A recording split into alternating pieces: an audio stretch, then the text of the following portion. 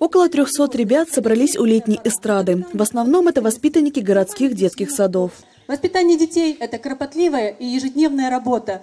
Победы наших детей в творчестве, в спорте, в учебе – это не только гордость наших родителей и педагогов, это гордость всего района. И я желаю, чтобы эти маленькие победы переросли в большие достижения и прославили наш район. Маленьких виновников праздника развлекали веселый Петрушка и злая Баба Яга, которая в один момент стала доброй и отзывчивой.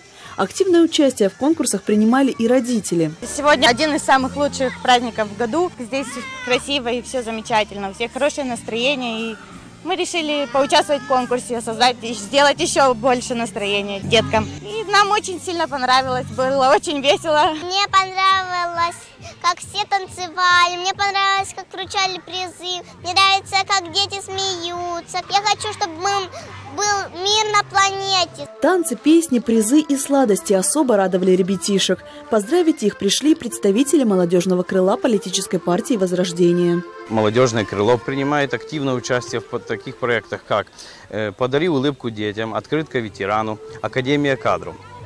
Все проекты направлены на воспитание у молодого поколения, патриотизма, уважения взрослым, чтобы заинтересовать молодежь и стимулировать их активную деятельность, ведь молодежь – это наше будущее. Взрослые в этот день старались создать настоящий праздник для детей. Творческие конкурсы и спортивные состязания стали продолжением праздничных мероприятий.